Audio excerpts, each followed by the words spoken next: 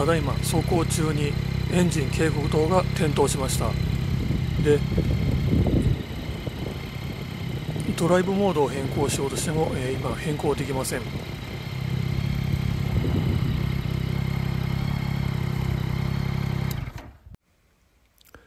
ここから、えー、アフレコになります、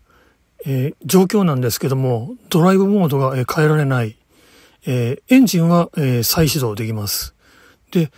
普通に走ることも、えー、できます。ま、とりあえずですね、えー、ドライブモードの変更以外は全て、え、問題ない。そういった状況です。ちなみに、ノロノロ運転中は3速、まあ2速も使いましたけども、まあほぼアイドリング付近で、いわゆるエコドライブですね。まあ燃費を考えた、えー、走行をしておりました。取扱説明書を見るとですね、え、やっぱり、え、このエラーが出た場合、バイク屋にすぐ持って行って点検しろっていうようなことが書いてありました。ただですね、私ちょっとバイク屋には行けない理由がありました。ツーリング途中での出来事になるんですけれども、えー、予約しておりました温泉宿、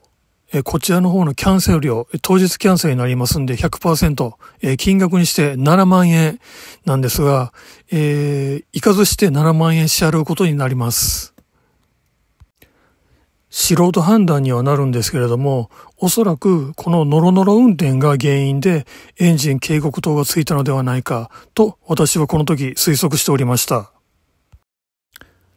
ノロノロ運転が原因で O2 センサーにススか何かがついたのであれば、まあ、空ぶかし、まあ、配圧をかけてやれば取れるんじゃないかと思いまして、えー、とりあえずエンジンをちょっと空ぶかししてみることにしました。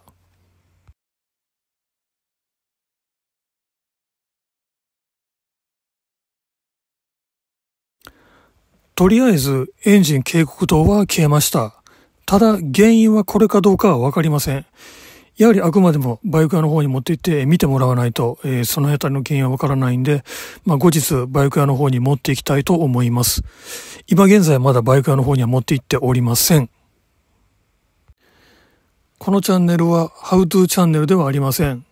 実際の出来事を紹介している、えー、元ブログ、えー、素人の元ブログになります。